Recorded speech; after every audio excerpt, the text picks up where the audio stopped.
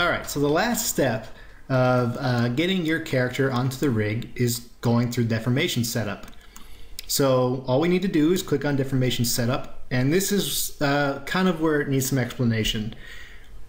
The tool allows you to have two different poses. Um, from my production experience, what usually ends up happening is you get a model that's modeled in a specific pose, but that pose isn't the ideal pose for rigging.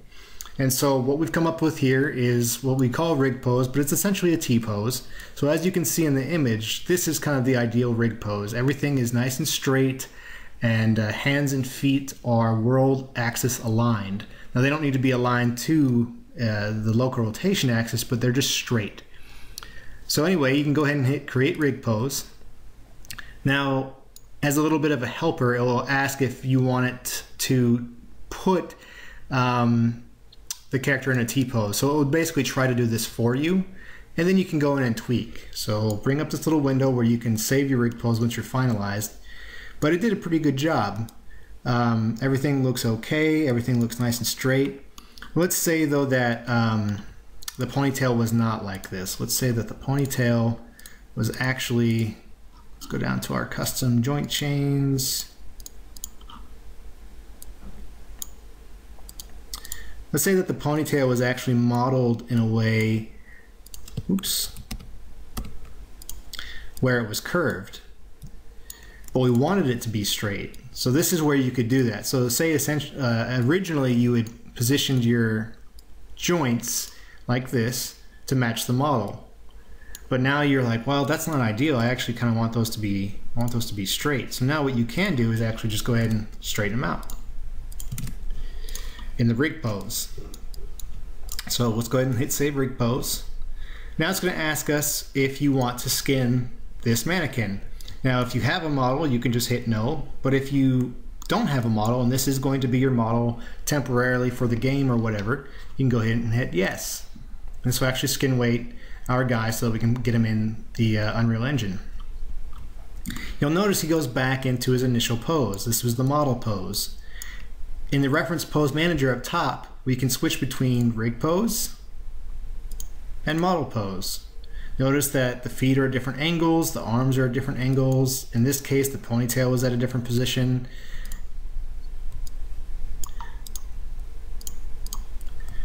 If you need to reset these at any time, you can go up to Reference Pose Manager and reset rig or model pose. It's going to warn you though that you can't do it in this mode. You need to go back to skeleton placement.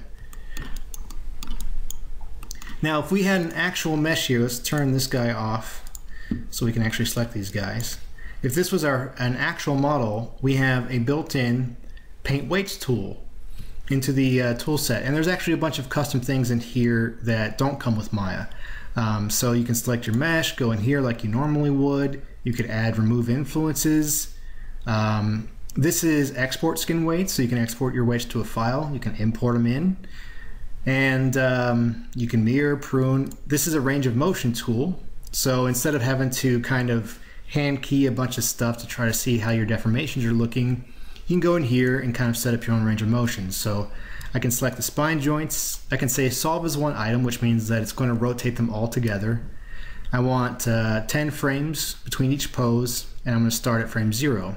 It'll tell me the current length of that animation is going to create will be 90 frames. So you can see, now if this were a model, you could see that we could actually go ahead and tweak our weights from this. To clear your range of motion, you can either just select the joints and delete the keys or just hit clear all range of motion keys. And you can keep adding onto your range of motion and just changing the animation start frame, which will make your your um, your timeline bigger and bigger and bigger. And you can see that initially we have it selected. It says 270 frames. If we say solve as one item, it goes down. All right, so that's basically, uh, actually there's one more tool thing in here that's unique to uh, the animation rigging toolset. When you change your mode to select, um, there's a few selection tools I've put in here. Um, you can select element, so you can go ahead and select.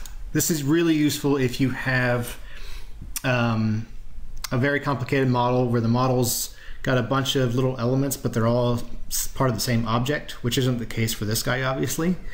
Um, you can go and select the vert, select element. Uh, you can isolate that. You can isolate it either way. You can convert it to verts, go back to paint mode, and so on and so forth. So that's kind of some of the cool things that are unique to uh, our tools here.